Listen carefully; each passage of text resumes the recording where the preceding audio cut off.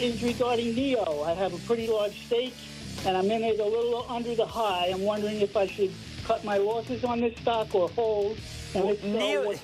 NIO's one of those stocks where if you sell it right here, some clown will come out and be real positive about it. There'll be some plenary nonsense. It'll go to six and you'll hate me. So let's just wait till all that stuff happens and then you can sell it.